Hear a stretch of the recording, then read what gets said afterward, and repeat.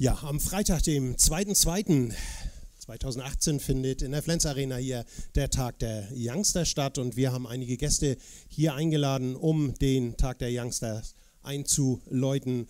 Äh, die A-Jugend der SG spielt gegen den TSV Sieverstedt und das Junior-Team der SG gegen den DHK Flensburg.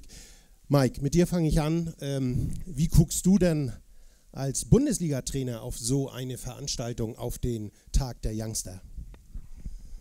Ja, na, erstmal ist das äh, eine, eine, tolle Veranstaltung für, für die jungen Spieler. Äh, das ist natürlich äh, etwas Besonderes, sich vor einer großen Kulisse vor vielen Zuschauern präsentieren zu können. Und ähm, dann ist es natürlich auch so, dass ich dann äh, so einen Tag dann auch nutze, um äh, mal zu gucken, wie weit die Jungs sind, was da ähm, in den letzten Jahren passiert ist oder in den letzten Wochen. Wir sind ja im, im sehr engen Austausch mit, mit allen Leuten, sodass ich mir die Spieler dann auch mal unter diesen Bedingungen angucken kann. Und ich glaube, dass es ähm, schon nochmal was anderes ist, äh, vor so einer Kulisse zu spielen.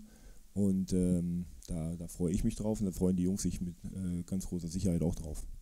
Das wollen wir doch gleich mal abfragen. Max Peters, äh, da ist das Mikrofon. Äh, ein Spieler, der Spieler vom TSV Sieverstedt. Äh, Derby vor großer Kulisse Ansporn, Herausforderung oder auch Belastung und Druck?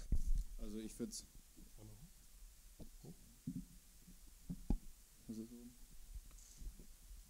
Ganz hoch, ganz hoch schieben.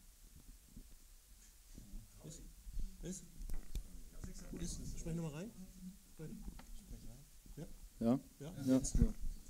ja. also ich denke, dass es alles ist. Also vorab erstmal, wir sind ziemlich glücklich, dass wir so eine Chance bekommen, dass wir vor so einer Riesenkulisse spielen dürfen und auch noch gegen unseren Rivalen dann hier aus dem Kreis. Ähm, ja, also wir als kleiner Verein und wir haben ja auch viele Ex-Flensburg-Spieler, freuen uns riesig darauf, auf das Spiel und werden da auch motiviert reingehen. Wir rechnen uns da auch Chancen aus, also wir gehen da nicht als Underdog rein.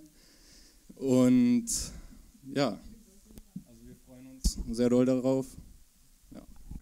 Okay, das ist nochmal eine Ansage. Dann darf ich das Mikrofon mal weiterreichen an Mikkel Ebeling, äh, seines Zeichens Neffe von Lars Christiansen, A-Jugendspieler bei der SG. Äh, die Ansage war klar, äh, die gehen da nicht als Underdog rein. Wie seht ihr das zu diesem Spiel hin? Wie siehst du die Chancen der SG? Ja, also wir gehen auch natürlich rein, um das Spiel zu gewinnen. Und wir freuen uns sehr auf natürlich viele Zuschauer, hoffen wir. Und ja, wir gehen rein, um zu gewinnen. Hundertprozentig.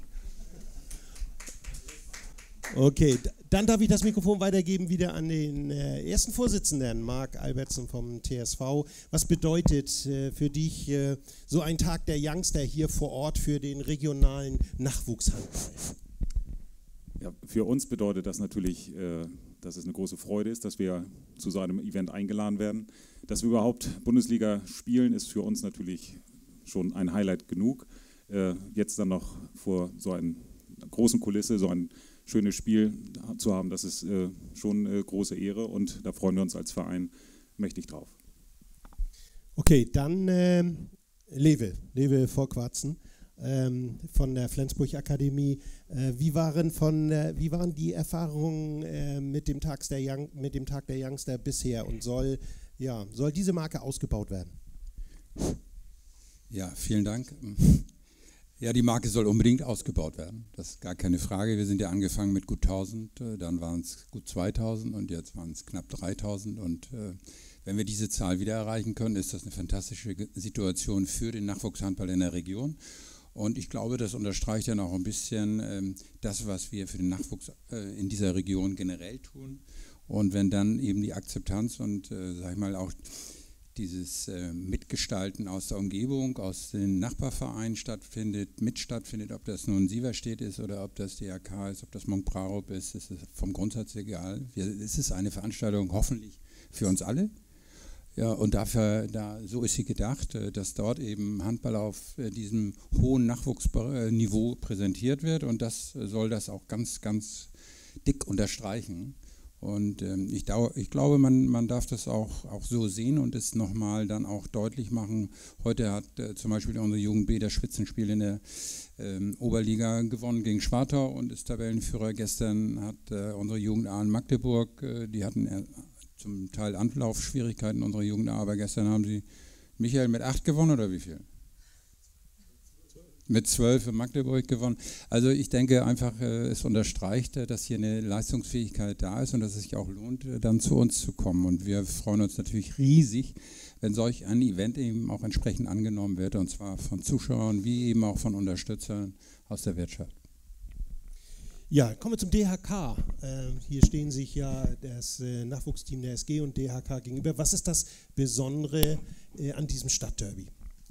Ja, ich denke mal, äh, dass einfach die Rivalität zwischen den Vereinen was äh, ganz Großes ist und dass äh, gerade nach der Hinspielniederlage, wo wir jetzt verloren haben, ähm, wir doppelt motiviert sein werden, das Spiel für uns zu entscheiden. Ist so ein Event äh, etwas Besonderes, äh, etwas ganz Besonderes in dieser Stadt? Äh, jetzt auch hinsichtlich äh, möglicherweise, ähm, dass äh, hier mehr Zuschauer sind als sonst in der Idritzhalle?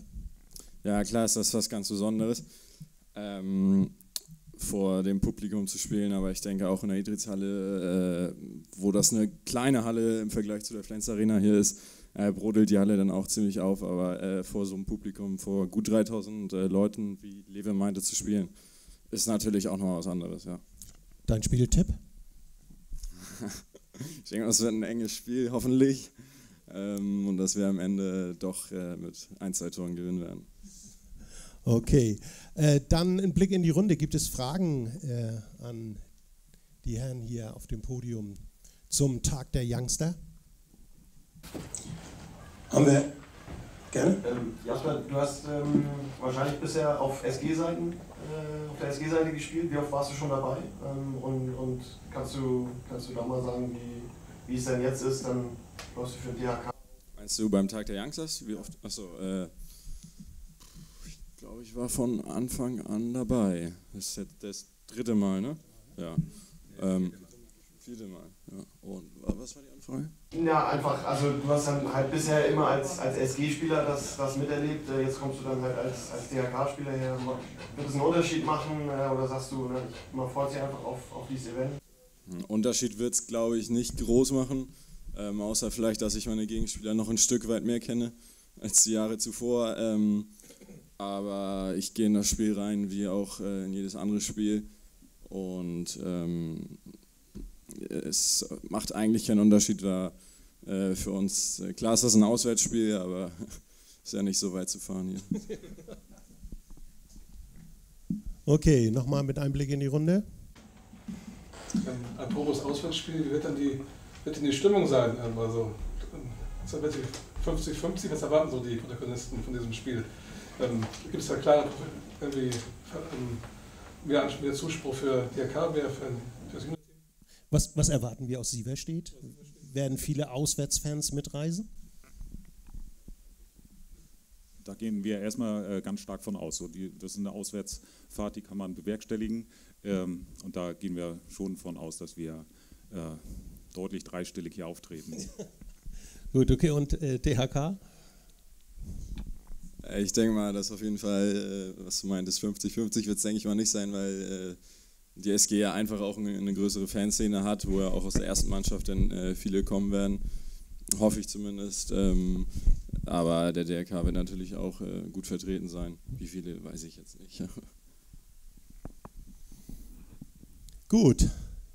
Dann bedanke ich mich bei allen Protagonisten hier zum Tag der Youngster. Freitag, 2.2.2018 hier in der Flens Arena. Ich wünsche euch noch einen schönen guten Abend. Dankeschön.